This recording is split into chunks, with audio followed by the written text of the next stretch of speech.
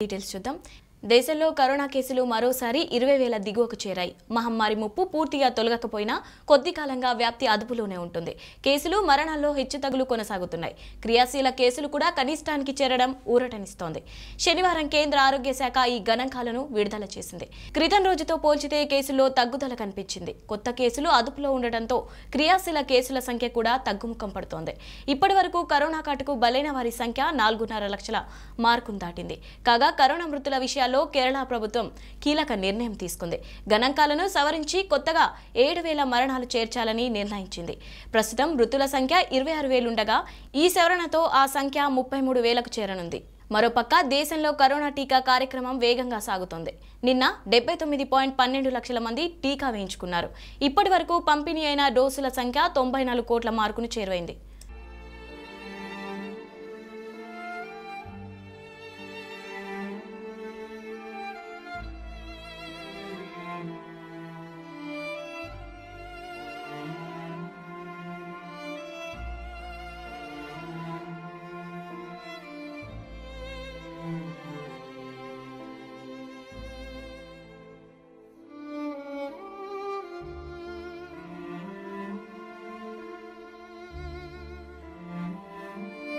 నిర్మల్ జిల్లా కానాపూర్ పట్టణంలోని తెలంగాణ తల్లి చౌరస వద్ద బజరంగ్ దళ్ ఆధ్వర్యంలో పాకిస్తాన్ ఉగ్రవాదులు దృష్టిబొమ్మను దహనం చేశారు. అసం ఉదయ్ కాసవేణి ప్రణయ్ మాట్లాడుతూ కాశ్మీర్లో పంతొమ్మిది వందల తొంభైలో మాదిరిగానే హిందువులను ఎంపిక చేసి హత్య చేస్తున్నారని ఇదంతా పాకిస్తాన్ సరిహద్దుల నుండి ప్రేరేపిత ఉగ్రవాదులు పని అంటున్నారు. జమ్మూ కాశ్మీర్ నుండి ఆర్టికల్ మూడు వందల డెబ్బై ముప్పై ఐదు ఏలను తొలగించిన తర్వాత ఇప్పుడు ఆఫ్ఘనిస్తాన్లో తాలిబాన్ పాలన కారణంగా తీవ్రవాద సంఘటనలు అకస్మాత్తుగా పెరిగాయని తెలిపారు. ఈ కార్యక్రమంలో సాయి బొట్టు శ్రీను చంద్రశేఖర్ గోవర్ధన్ శివ అభిలాష సందీప్ లోకేష్ రాజశేఖర్ మహేష్ రాము తదితరులు పాల్గొన్నారు.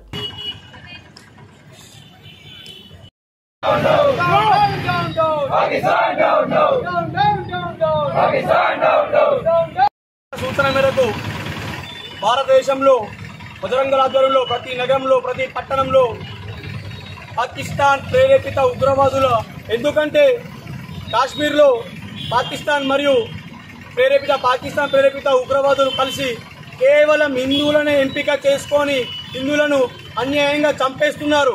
అన్య మతస్థులను విడిచిపెట్టి కేవలం ఓన్లీ హిందువులను మాత్రమే ఎంపిక చేసి ఈ ఉగ్రవాదులు చంపేస్తున్నారు మన వాళ్ళను. కాబట్టి వాళ్ళందరికీ కూడా మేము దేశం మొత్తం అండగా ఉంటుందని చెప్పేసి బజరంగల్ నుంచి వెళ్ళి మేము పిలిపించాము ఈరోజు. ఖచ్చితంగా ఈ ఎవరైతే ఉగ్రవాదులు ఉన్నారో ఈ దేశంని మా హిందుస్థాన్ని భారతదేశం ఏం చేయలేరు ముందుంది అసలైన పండుగ. అఖండ భారత్ సాధించి తీరుతాం. అఖండ భారత్ ఆఫ్ఘనిస్తాన్ పాకిస్తాన్ ఇవన్నీ కూడా ఒకప్పుడు మాయే. కానీ ఇవాళ పాకిస్తాన్ విర్రబూగిపోతుంది. ఏదైతే article three nine thirty five A అది త్రీ సెవెంటీ ఆర్టికల్ని రద్దు చేసినామో అప్పటి నుంచి వెళ్ళి మా హిందువులపైన దాడులు చేయడం మొదలు పెడుతున్నారు. ఇవాళ ఆఫ్ఘనిస్తాన్లో కూడా తాలిబాన్ల పరిపాలన రావడం వాళ్ళకు కొంచెం అవకాశంగా మారింది. కాబట్టి గుర్తుంచుకోండి దేశద్రోహులారా ఈ బజరంగల్ విశ్వ హిందూ పనిచేసినంత కాలం ఈ భారతదేశంలో ఎవ్వరు కూడా ఏం చేయలేరు. జై శ్రీరామ్. హిందువులనే ఎంపిక చేసుకొని ఈ ఉగ్రవాదులు దాడి చేస్తుర్రు. దాడికి ప్రతి దాడి తప్పది. గుర్తుపెట్టుకోండి ఒక్కసారి కనుక విశ్వ హిందూ పరిషత్ బజరంగల్ తలుచుకున్నదనుకో ఈ దేశం కాదు ప్రపంచం మొత్తంలోనే వేరే మతం ఉండదు. ఖబర్దార్ గుర్తుపెట్టుకోండి. ఉగ్రవాదులారా ఇంటి తరిమి తరిమి కొడతాం భారతదేశం నుండి తొందరలో. ముందుంది. అఖండ భారత్ తప్పకుండా సాధించి తీరుతాం. తీరే వరకు బజరంగల్ విశ్వ హిందూ పరిషత్ బజరంగల్ పోరాటం ఆగదు. జై శ్రీరామ్. టీడీపీ నేత మాజీ ఎమ్మెల్యే ధూళిపాల నరేంద్ర కుమార్ గుంటూరు జిల్లా పొన్నూరులో మీడియా సమావేశం ఏర్పాటు చేసి రాష్ట్రంలో ప్రజా సమస్యలపై ప్రతిపక్షాలు సామాన్య ప్రజలు ప్రభుత్వాన్ని ప్రశ్నిస్తుంటే పోలీసుల ద్వారా ప్రజల గొంతులు నొక్కాలని చూడటం దుర్మార్గమన్నారు. గంజాయి గుట్కా డ్రగ్స్ వినియోగంపై వస్తున్న ఆరోపణలను నివృత్తి చేయాలని డ్రగ్స్ బారి నుంచి ప్రజలను కాపాడాలని ప్రతిపక్షాలు కోరుతుంటే కొందరు పోలీసులు అధికారులు వ్యక్తిగతంగా తీసుకుని ప్రతిపక్ష నేతలు ప్రజల గొంతులను నొక్కాలని చూడటం దుర్మార్గమని పోలీసుల నోటీసులకు భయపడి ప్రభుత్వాన్ని ప్రశ్నించడం ఆపుతామనుకుంటే అది ఒట్టి ఆయనని ఆయన అన్నారు. పొన్నూరు మండలం చింతలపూడి గ్రామంలోని ధూళిపాల నరేంద్ర కుమార్ నివాసానికి కాకినాడ ఒకటవ పట్టణ పోలీస్ స్టేషన్ నుంచి వచ్చిన ఎస్ఐ నరేంద్ర కుమార్కి నూట అరవైవ సిఆర్పిసి కింద నోటీసులు ఇవ్వడంపై ఆయన స్పందించారు. డీజీ గారు వీళ్ళ మీద వెళ్తాం. నాకు అంటే ఏ అధికారంతో ఇచ్చారనేది నాకు అర్థం కావట్లేదు.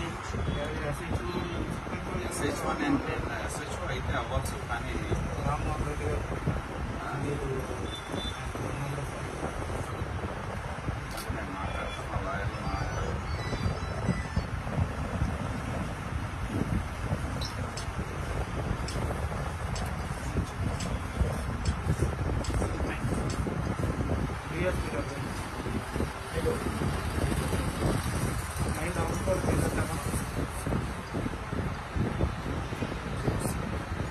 ఫైవ్ త్రీ నైన్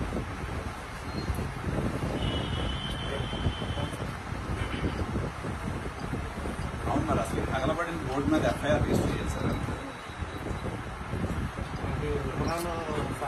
సార్ చెప్తాను నాకు నాకు ఇవ్వడానికి వచ్చారు కాబట్టి మీరు ఒకవేళ రిజిస్టర్ చేసింది తగలబడింది బోర్డు మీద బోర్డు తగలబడిన దాని మీద ఎఫ్ఐఆర్ రిజిస్టర్ చేసింది నాకు కాపీ ఇవ్వాల్సింది కదా అది మీరు అడగండి మరి. దీనిలో తగలబడింది అన్నారు. నేను చూసింది చెప్పా. టీవీ ఛానల్స్లో వచ్చింది అన్నింటిలో వచ్చింది. చూసింది నేను చెప్పాను తగలబడిందని చెప్పాను. ఎఫ్ఐఆర్ పెట్టారా కట్టలేదా అనేది ఒక ఎఫ్ఐఆర్ చూస్తే. బోర్డు తిరగబడిన దాని మీద ఎఫ్ఐఆర్ పెట్టారు. కానీ దీని మీద కట్టారు కట్టలేదు అనే దాని మీద ఉంది. ఒకవేళ మీరు కట్టి ఉంటే నాకు దీంతో పాటు ఇవ్వచ్చు కదా. ఎఫ్ఐఆర్ కట్టాను తగలబడిన దానికని. సరే ఏమైతే అడుగుతున్నారో నాకేం పని అండి అడగడానికి? నేను పెట్టు నాకు లెటర్ ఇచ్చినప్పుడు మీ దగ్గర. మరి ఎఫ్ఐఆర్ కాపీ ఇవ్వాల్సింది కదా. మీరు కోరితే. నాకేం పని? కోరటానికి నాకు లెటర్ ఇచ్చింది మీరు. నాకేం పని అంటే కోరటానికి. నాకేం పని అంటే కోరటానికి. మీ డిఎస్పీ గారిని సిఏ గారిని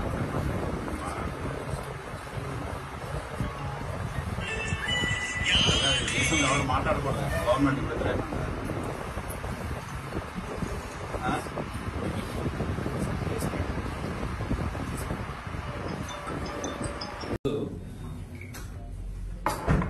కాకినాడ వన్ టౌన్ నుండి ఒక ఎస్ఐ గారు నోటీస్ ఇవ్వడానికి వచ్చారు. దాని సారాంశం ఏంటంటే కాకినాడలో తగలబడిన బోర్డు మేము ఏదో ఆరోపణలు చేశాము. దాని గురించి వాళ్ళ ఇన్స్పెక్టర్ గారు ఒక రెడ్డి గారు ఆయన పేరైతే నా తెలియదు కానీ రఘునాథ్ రెడ్డి ఏదో పేరు చెప్పారు. ఆయన ఆదేశాల మేరకు భుజంగరావు గారు రఘునాథ్ రెడ్డి ఏదో చెప్తున్నారు. ఆయన ఆదేశాల మేరకు నేను వచ్చాను నోటీస్ ఇవ్వటానికని ఇంకా నాకు ఆశ్చర్యం కలిగించేది ఏంటంటే పోలీస్ అధికారులు మేము ఈ వ్యవస్థలో జరిగే తప్పులు లోపాలు జరుగుతున్న అరాచకాలు ఎత్తి చూపితే అవేవో తమన్ని విమర్శించినట్టు తీసుకుంటున్నారు. ఎందుకంటే మేము మాట్లాడింది ఈ రాష్ట్రంలో జరుగుతా ఉన్న డ్రగ్స్ గురించి మాఫియా గురించి విచ్చలవిడిగా ఆంధ్రప్రదేశ్ నుండి దేశవ్యాప్తంగా గంజాయి రవాణా గురించి. ఆంధ్రప్రదేశ్ అనేది మా ఆవేదన ఏంటంటే డ్రగ్స్కి మాఫియాకి అడ్డాగా మారిపోయిందనేది మా ఆవేదన.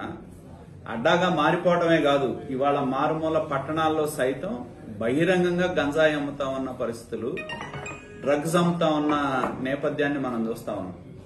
అటువంటి పరిస్థితుల్లో మేము ప్రభుత్వాన్ని పోలీస్ యంత్రాంగం పోలీస్ యంత్రాంగం చాలా స్పీడ్గా స్పందిస్తూ ఉన్నారు. వాస్తవాలు ఏంటి అనేది పరిశీలన చేయకుండా. ఎందుకంటే ముంద్రా పోర్ట్లో ఎప్పుడైతే ఈ దేశంలోనే అత్యధికమైన విలువైన మత్తు పదార్థాలని విజయవాడ కేంద్రంగా అడ్రస్ పెట్టుకొని కంటైనర్లు కంటైనర్లు మరి దాదాపు ఇరవై రెండు కంటైనర్లు వచ్చినాయి అనేది డెబ్బై రెండు వేల కోట్ల విలువైన హెరాయిన్ ఆ కంటైనర్ల ద్వారా దేశంలోకి వచ్చింది అనేది నిన్నగా మనం చూసాం ఆ కేసుని ఎన్ఐ కూడా ఎన్ఐఏ కూడా తీసుకుంది.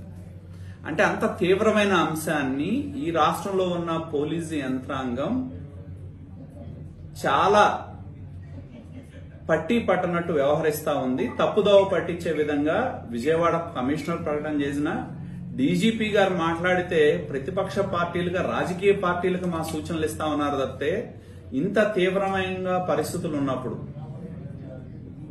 దాని మీద చర్యలు తీసుకోవాల్సిన బాధ్యత వాస్తవాలు ప్రజలకు చెప్పాల్సిన బాధ్యత ఆయన మీద ఉంటే ఏమీ జరగనట్టు దాన్ని కప్పిపుచ్చే ప్రయత్నం చేస్తా ఉన్నారు. వాళ్ళు ఏమంటున్నారు? కేవలం అడ్రస్ మాత్రమే ఉపయోగించుకున్నారని చెప్పి. కానీ ఈ అడ్రస్ పేరు మీద ఏ కంపెనీ అయితే రిజిస్టర్ చేశారో దాన్ని దాని మీద రెగ్యులర్గా జిఎస్టీలు ఫైల్ అవుతా ఉన్నాయంటే రెగ్యులర్ వ్యాపారం జరుగుతుందనేది దాని అర్థం. కాబట్టి వాస్తవాలు పరిశీలన చేయకుండా వాస్తవాలను మరుగుపరిచే విధంగా పోలీసు ఉన్నతాధికారులు మాట్లాడారు అనేది మా ఆరోపణ. అదేవిధంగా ముఖ్యమంత్రి గారు ఈ రాష్ట్రంలో ఒక ముఖ్యమంత్రి ఎవరైనా ఇంత పెద్ద ఎత్తున సంఘటన జరిగితే రెండో రోజు ఎప్పుడో దాని మీద ఒక రివ్యూ పెట్టి అధికార యంత్రాంగాన్ని పశ్చిమ గోదావరి జిల్లా గౌరీపట్నం దేవరపల్లి గ్రామ శివార్లలో గుట్టు చప్పుడు కాకుండా నిర్వహిస్తున్న సారాయి తయారీ కేంద్రాలపై పోలీసులు దాడులు నిర్వహించారు. ఏడుగురు వ్యక్తులను అదుపులోకి తీసుకుని వారి వద్ద నుండి నూట ఇరవై ఐదు లీటర్ల నాటు సారాయి ఆరు మోటార్ సైకిళ్ళను సాధ్వీనం చేసుకోమని దేవరపల్లి ఎస్ఐ శ్రీహరి తెలియజేశారు.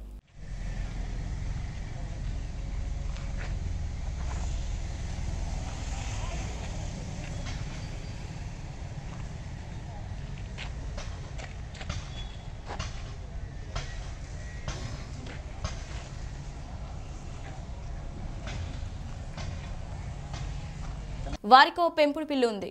అది కాస్త అపహరణకు గురైంది. దీంతో ఆ కుటుంబం తిండి తిప్పలు మానేసి పిల్లి కోసం వెతకడం మొదలుపెట్టారు.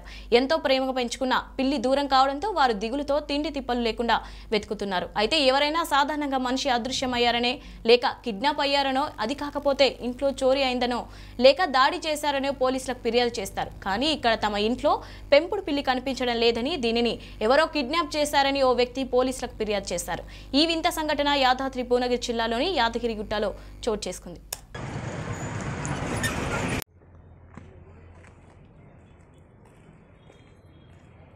అది మా ఆలోచన. సరే పోయిన పిల్లి అంటే అది వస్తుందా రాదా అంటే తర్వాత విషయం. కానీ ఇంకోరికి ఇబ్బంది కలగకుండా మీరు జంతు పరిరక్షణ చట్టం కింద దీన్ని అవగాహన కల్పించండి. జన.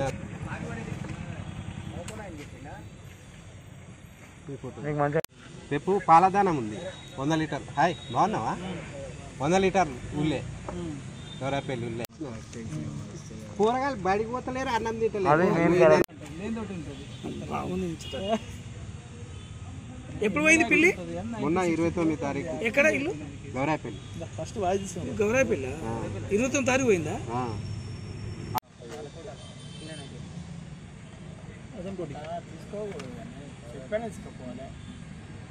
ఒక మా ఇంటి పక్క ఆయన చెప్పిండట మీరు ఆ పిల్లిని పట్టకపోకురి వాళ్ళు దాదుకుంటారని కూడా చెప్పారట. చెప్పిన తర్వాత కూడా వా- వల వేసి తీసుకుపోయిందంట ఒకసారి చూడు. ఏడు గంటలకు.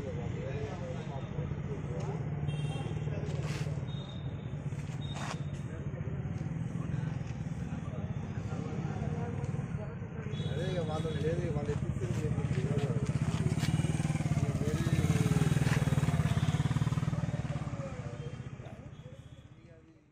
హెల్మెట్ సీట్ బెల్ట్ మాస్కులు ఉపయోగాలపై ప్రజలకు అవగాహన కల్పించేందుకు పశ్చిమ గోదావరి జిల్లా ఏలూరు బడేటి చౌక్ వద్ద పోలీసులు ర్యాలీ నిర్వహించారు. Eluru one town inspector YB Rajaji జిల్లా court public prosecutor Challa Rajendra Sasidhar Maddala Vasudevarao Abbineni Vijay Kumar ప్రముఖ న్యాయవాదులు పోలీస్ సిబ్బంది సచివాలయ మహిళా పోలీస్ సిబ్బంది ర్యాలీలో పాల్గొన్నారు. ప్రమాదాల నివారణకే ఈ కార్యక్రమాన్ని చేశామని one town inspector YB Rajaji తెలిపారు.